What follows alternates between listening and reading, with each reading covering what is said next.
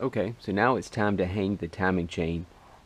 Uh, the first thing you want to do uh, before you put the timing chain on is to slide the uh, cam gear onto the camshaft. There's a, an alignment dowel and then the three bolts will line up assuming you have a three bolt style cam.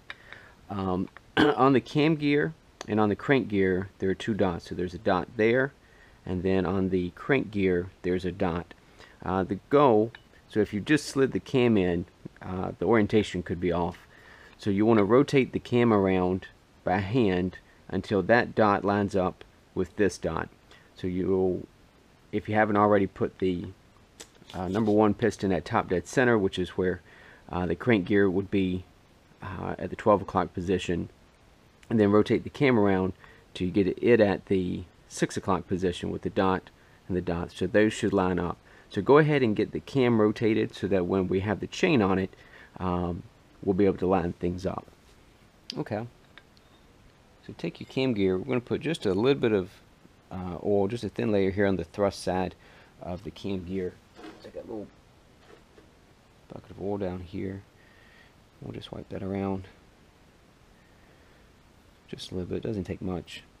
But just so it has some lubrication on it.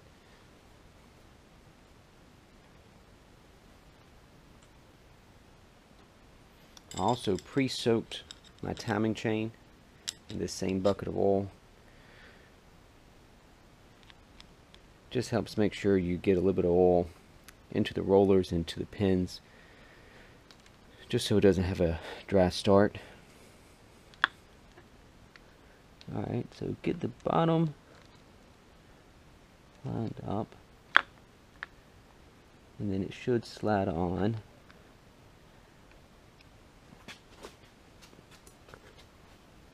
Then double check now that you've put it back on and make sure your timing dots for the cam gear and the crank gear are still lined up. If it's off, then you need to readjust and get it on uh, so that those two line up. That's 100% critical.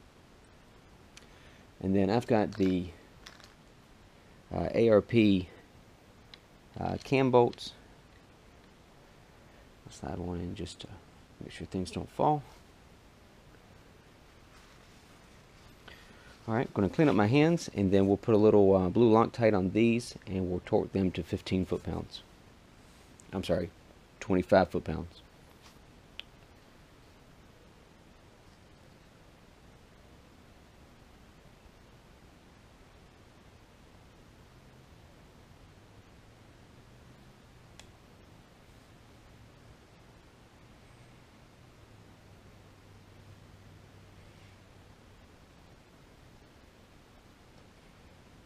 Put a little bit of blue Loctite on each bolt.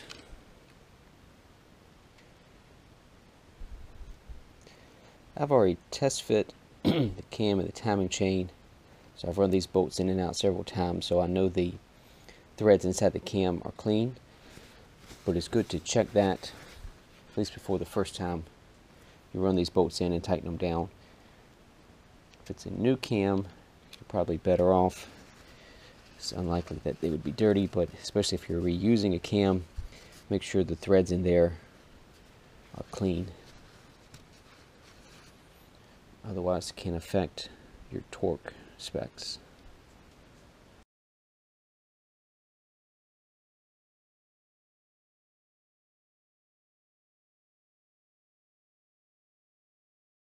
Now, if you're doing this the first time, like I said, I've already done a couple of draft fits just to make sure things were going to line up. Uh, before you torque these down, you know, get them in there and get them snug. Uh, but then rotate the crank over at least one revolution and make sure your timing marks uh, line back up again. If they don't, something's off.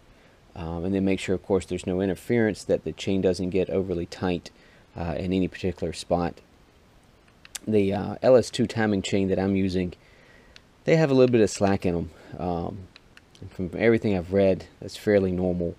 Uh, I don't love it, but it's just kind of the way it is.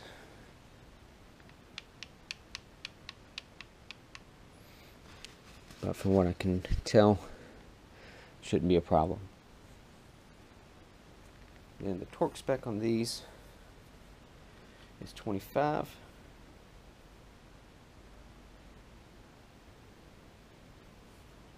We'll go 15 to start.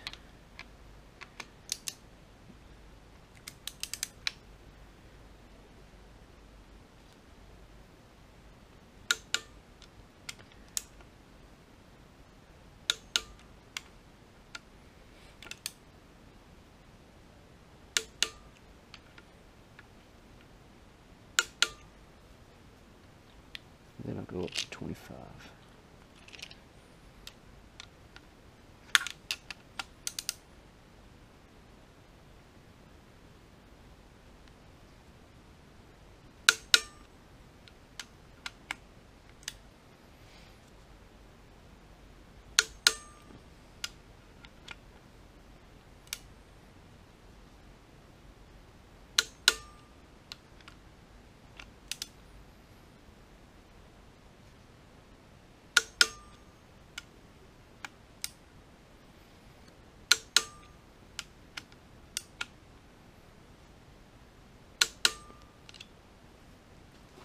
There we go.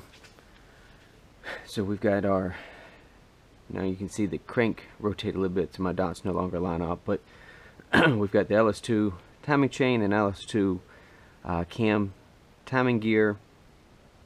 Um, we used the Trick Flow adapter bracket so that we could use the LS2 um, timing chain dampener. It's not a tensioner, it's a dampener. Um, and there we go. Uh, so our next step will be to put the oil pump on and uh, we'll keep going. Uh, I thought I'd show you very quickly. Uh, this one here is an LS2 timing chain and this was my old LS1 timing chain. Uh, and I thought I'd just give you a uh, close-up visual. Hopefully you can see that. how much thicker the links are in the LS2 versus the LS1 timing chain. Uh, so that's why this is a common upgrade.